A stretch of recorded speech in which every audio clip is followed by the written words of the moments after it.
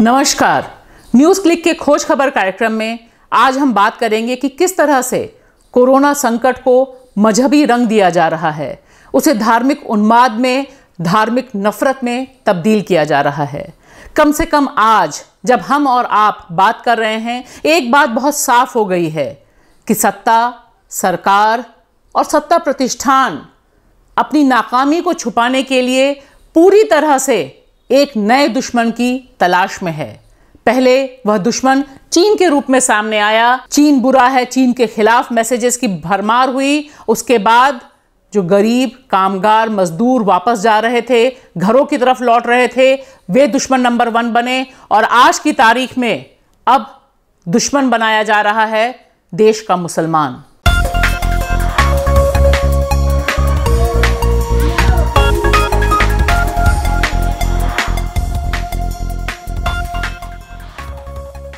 जैसा कि आप तक, अब तक खबर पहुँच चुकी होगी, लेकिन फिर से हम एक बार सिलसिलेवार ढंग से आपके साथ रखना चाहते हैं कि क्या हुआ दिल्ली के निज़ामुद्दीन मरकज़ में, जो कि एक से पंद्रह मार्च तक दिल्ली में हुई।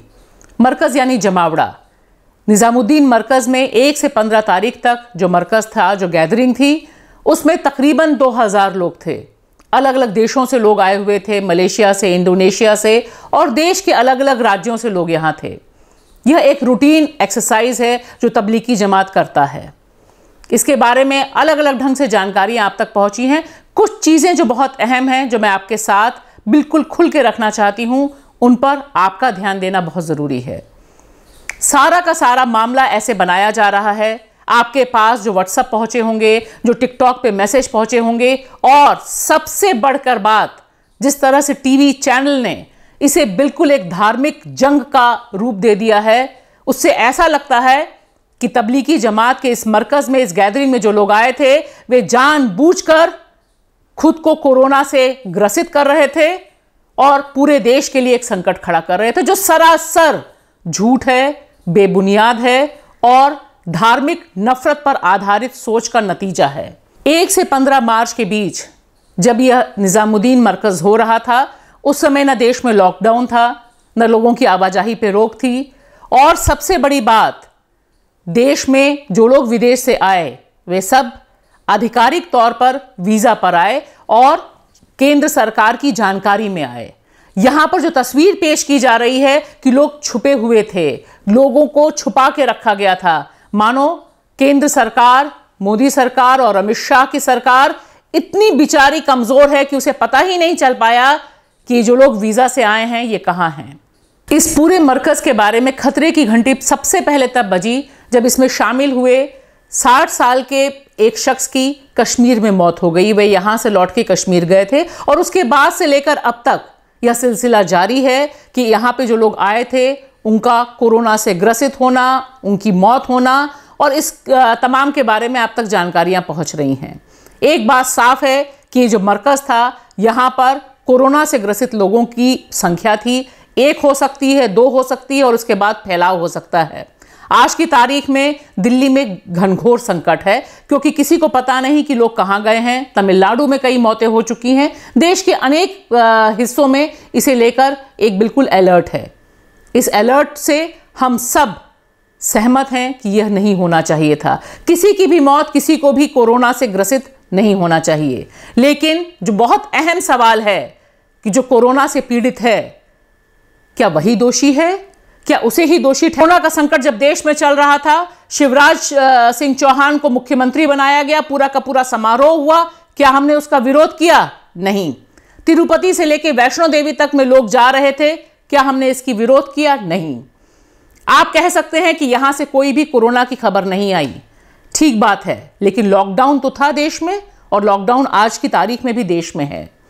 सवाल यह है कि इस तरह से, धर्म से जोड़कर जिस तरह की नफरत फैलाई जा रही है, आपको स्क्रीन पे दिखाई दे रहा होगा कि टीवी चैनल लगातार 24 घंटे एक धर्म को बकायदा कोरोना का प्रचार करने वाले धर्म के तौर पे प्रसारित कर रहे हैं। अगर यह नफरत का वायरस इसी तरह से फैलता रहा तो निश्चित तौर पे कोरोना से जंग लड़ने से पहले हम नफरत के वायरस से मारे जाएँगे, हार जाएँगे हम। और यहाँ पर जो मरकज ने बयान जारी किया, जो स्टेटमेंट जारी किया, वो इस समय आप स्क्रीन पे देखेंगे। उसे हम क्रमवार ढंग से आपके सामने रखना चाहेंगे, क्योंकि कहीं से भी कोई कंफ्यूजन जिसे फैलाने की बहुत कोशिश हो रही है, ना रहे। सबसे बड़ा कंफ्यूजन यह बताया जा रहा है कि इस मरकज, इस गैदरिंग के बारे में सरकारों को पता नहीं था, जो कि सरासर झूठ है। तबलीगी जमात ने जो बयान जारी किया है, वह बिल्कुल साफ़ कहता है कि 22 मार्च को मरकज को बंद कर दिया गया, जिस समय प्रधानमंत्री नरेंद्र मोदी ने जनता कर्फ्यू अनाउंस किया। उस दिन यह बंद था।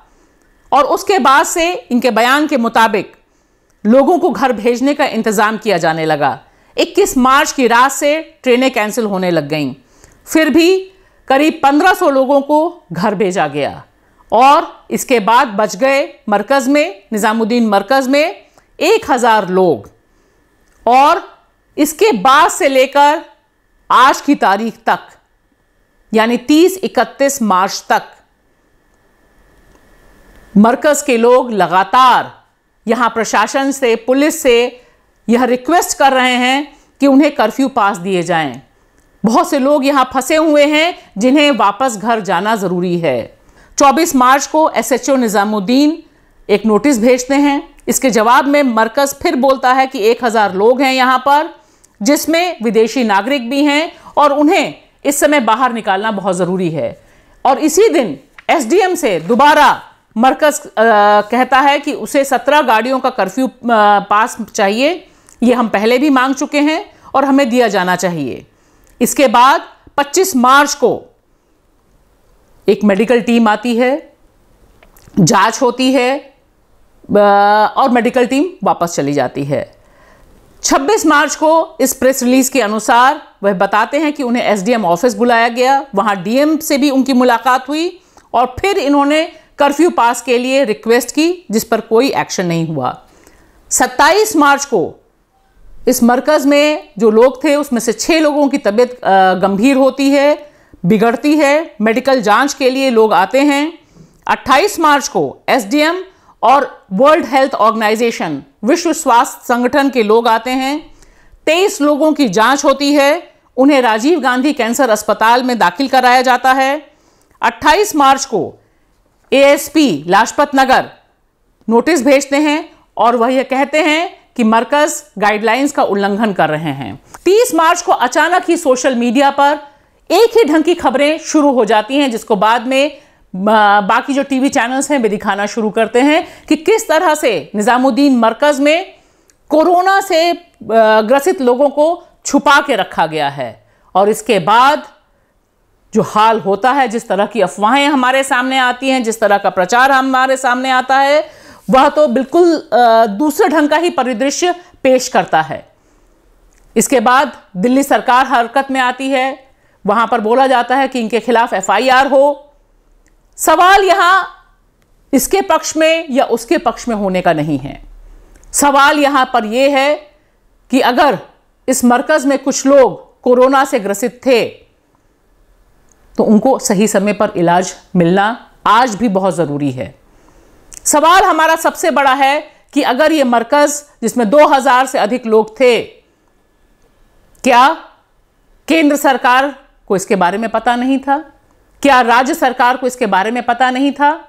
सरकारों के पास जब जानकारी पहुँच रही थी, तब वे सरकारें क्या कर रही थी? और उन्हें स्थिति को स्पष्ट करने के लिए कम से कम यह बताना चाहिए कि किस अधिकारी ने क्या किया। इस बारे में हमने बातचीत की सामाजिक कार्यकर्ता और अनहद संस्था से जुड़ी शबनम हाशमी से। उन्नीस सौ इक्यासी में जब मैंने अपने एक्टिविज्म की शुरुआत की तो निज़ामुद्दीन बस्ती में मुस्लिम लड़कियों को पढ़ाना शुरू किया था और उस वक्त सबसे बड़े मेरे दुश्मन जिनको मैं मानती थी वो तबलीगी जमात थी, क्योंकि बहुत ही कंजर्वेटिव एक ग्रुप था जिनको लड़कियों को, मुसलमान लड़कियों को पढ़ाने में काफ़ी परेशानी थी। और उसके बाद भी बहुत साल बाद मेवात में जब मैंने काम शुरू किया, तब भी उनसे लगातार टकराव होता रहा। इन शॉर्ट मेरी तबलीगी जमात से कोई मोहब्बत नहीं है, बल्कि मैंने उनके कंजर्वेटिव एटीट्यूड्स को हमेशा चैलेंज किया है। लेकिन आज की तारीख में जो तबलीगी जमात पे हमला हो रहा है, उसको मैं बहुत स्ट्रांगली कंडेम करती हूँ।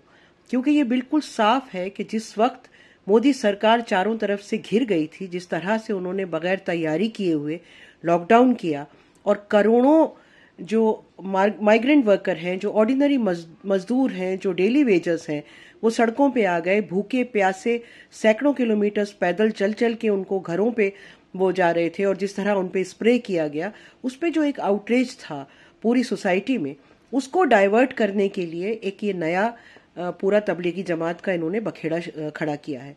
ये बात हम बिल्कुल मानते हैं कि वहाँ पे जो लोग आए बाहर से और वो वहाँ पे रह रहे थे ये सवाल ये है कि सरकार क्या कर रही थी। ये तो हमको पता चल गया था जनवरी में कि ये हो रहा है। तो स्क्रीनिंग क्यों नहीं शुरू हुई थी एयरपोर्ट्स पे? और जिस बात, जिस प्रोग्राम की बात हो रही है, वो ऑफिशियल लॉकडाउन से पहले हो चुका प्रोग्राम ऑफिशियल लॉकडाउन के बाद अगर किसी ने प्रोग्राम किया होता और उस वक्त ये सारी चीज़ें उठाई गई होती, तब लीगी जमात ने ऑफिशियली सारे पेपर्स रिलीज़ किए हैं। उन्होंने किस दिन पुलिस को लिखा, किस दिन उन्होंने गाड़ियाँ मांगी, किस तरह उन्होंने अपनी जगह खाली करवाई और जो लोग वहाँ फंसे रह गए, उनको किस तरह भेजा जाए, उसके लिए वो लगातार अपील कर रहे थे। तो ये जो फंसे रह जाने वाले लोग और छुपे रह जाने वाले लोग, ये जो पूरा वोकेबलरी का नाटक हो रहा है, जो हमेशा करती है राइट विंग कि किन्हीं लोगों को आप कहते हैं छुपे हुए थे और किन्हीं को आप कहते हैं वो फंसे हुए थे। आप किसी विक्टिम को फंसे होने के बदले आप उसे ये कहें कि वो जानबूझ के छुपा हुआ था, या किसी का सर फिर गया है क्या जो जानबूझ के कोरोना वायरस फैलाएगा। इस तरह की बातें जो हैं, ये बहुत ही घटिया स्तर की बातें हैं, बहुत ही बेहुदा बातें हैं। और बेहतर ये होगा कि सरकार इनके ऊपर रोक लगाए। और बे, बेवजह जो है, जो चाहे वो ये जमात हो या कोई और भी ऑर्गेनाइजेशन इस तरह की हो, तेईस मार्च तक तो आपकी पार्लियामेंट चल रही थी। आपकी पार्लियामेंट के अंदर लोग बैठे थे जो पार्टीज़ अटेंड कर रहे थे। तो आप किस तरह से आप किसी तबलीगी जमात पे आप कह रहे हैं कि जो उनका जो प्रोग्राम था, जो आपके लॉकडाउन से भी पहले हुआ, उसके ऊपर आप इस तरह के सवाल उठा रहे हैं? और वो विक्टिम है, जिसको कोरोना हुआ है आज की तारीख में, वो विक्टिम है। उसका इलाज एक विक्टिम की तरह होना चाहिए, ना कि ये कि आप उसके ऊपर ही पूरा का पूरा अपराध थोप दें। एक और बहुत अहम खबर जो अपने आप में बहुत रोचक है और बहुत से तार इस खबर के साथ जुड़े हुए हैं। वह खबर जब लॉकडाउन की घोषणा हुई 24 मार्च को, उससे करीब 24 घंटे पहले की है। इस खबर को प्रकाशित किया कारवा वेबसाइट ने। बहुत विस्तृत खबर है ये कारवा वेबसाइट पे, जिसे पढ़ा जाना ज़रूरी है। और ख़ास तौर से उन लोगों को जो मीडिया से पॉजिटिव खबरें, पॉजिटिव सकारात्मक खबरों की अपेक्षा करते हैं। ये सकारात्मक खबरें कहाँ से आती हैं, क्यों आती हैं, इनके पीछे की जो राजनीति है, यह इस बैठक में सामने आती है, हमारे सामने।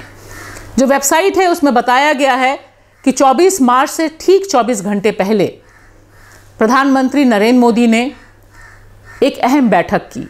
यह बैठक की 24 संपादकों के साथ 24 पत्रकारों के साथ, जो अलग अलग समूह के मालिक भी हैं। या संपादक हैं। प्रिंट इलेक्ट्रॉनिक दोनों। अगर अखबारों के नाम लें तो तमाम प्रमुख अखबार, जिसमें Indian Express, the Hindu, Times of India, Punjab Kesari, तमाम अखबार हैं। और यहाँ पर प्रधानमंत्री ने ये जो वीडियो कॉन्फ्रेंसिंग के ज़रिए बैठक की, डेढ़ घंटे ये बैठक चली। और इस बैठक में प्रधानमंत्री ने अपील की कि लॉकडाउन के ज़रिए उस दौरान नकारात्मक खबरें ना आएँ। ऐसी खबरें आएँ जो बहुत ही उत्साहवर्धन वाली हों, ताकि कोरोना के खिलाफ लड़ाई अच्छे ढंग से लड़ी जा सके। यहाँ आप भी सोच रहे होंगे कि इसमें बुरा क्या है। कई संपादकों ने ये जो वीडियो कॉन्फ्रेंसिंग वाली बैठक थी, इसमें अपने फ़ोटो भी ट्वीट की, बाकायदा खुद बताया कि किस तरह से प्रधानमंत्री जो एक नोट पैड लेकर और कलम लेकर बैठे हुए हैं, पत्रकार उन्हें सलाह दे रहे हैं और वो नोट कर रहे हैं। बहुत ही दिलचस्प नज़ारा था ये। मेरा जो सवाल आपके साथ है यहाँ पर कि इसके बाद क्या होता है? क्या पत्रकारों की ज़िम्मेदारी एक पीआर एक्सरसाइज की है? क्या पत्रकारों की ज़िम्मेदारी सरकार को सही और गलत के बारे में बताने की है? या सरकार का जो कदम है उसकी विवेचना करने की है? या जनता किस तरह से उस फैसले से पीड़ित है, खुश है, यह बताने की है? अगर पहले ही हम सोच लें किसी खबर के बारे में कि हमें पॉजिटिव खबरें देनी हैं और इसमें आप देखेंगे कि तमाम पत्रकारों ने जो संपादक हैं और मालिक हैं उन्होंने खुद बढ़ चढ़ के बताया कि इसे हम इस तरह से पॉजिटिव ढंग से दिखा सकते हैं। ये अप, खबर अपने आप में यह बताती है कि लॉकडाउन से पहले और कोई तैयारी प्रधानमंत्री नरेंद्र मोदी ने की हो या ना की हो एक बात साफ़ थी कि उन्होंने जो पीआर एक्सरसाइज है मीडिया को किस तरह से मैनेज करना है और मीडिया में किस तरह की खबरें आनी चाहिए इसे तय कर लिया। इसी की वजह आप देखेंगे कि किस तरह की खबरों की कवरेज हो रही है। जब मजदूर सड़क पर उतरते हैं जब वे रो, रोटी की बात करते हैं जब वे भूख से बिलबिलाते हुए रोते हैं तब मीडिया के लिए वह बड़ी खबर नहीं बनती। क्यों? क्योंकि वह पॉजिटिव खबर नहीं है। वह एक निगेटिव खबर है। यहाँ निगेटिव खबर वह हो जाती है जो जनता के सीधे सीधे दुख दर्दों से जुड़ी हुई खबर होती है। इस तरह का जो एक्सरसाइज है, मुझे लगता है कि बेहद चिंतनीय है और कम से कम मीडिया की चौथे खंबे के तौर पे जो भूमिका होती है लोकतंत्र में, उसे गंभीर चुनौती देने वाली यह बैठक रही और इसका असर हमें तमाम कवरेज में लगातार अब तक दिखाई दे रहा है। खोज खबर के इस एपिसोड में बस इतना ही। बना रहेगा हमारा और आपका साथ। देखिए लाइक करिए शेयर करिए खोज खबर, ताकि सच को ज़िंदा रखने की हमारी जो कोशिश है, वह ज़िंदा रहे और ज़्यादा से ज़्यादा लोगों तक पहुँचती रहे। शुक्रिया।